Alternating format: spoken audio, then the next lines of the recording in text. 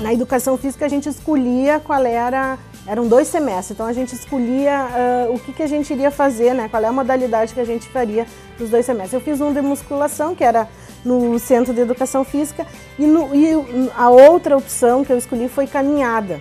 E nessas caminhadas a gente uh, uh, acabou conhecendo uma universidade que para nós era muito distante, né? A gente sabe que a universidade tem vários, vários, vários hectares, mas a gente não sabe, né? Não, não, não costumava circular. Então a gente fazia voltas, passava por açudes, eu tenho até uma foto uh, ainda que, que a gente registrou na época, então eram aulas assim, muito prazerosas, né? Que a gente tinha, além, claro, do contato com os colegas, a gente tinha contato com a natureza.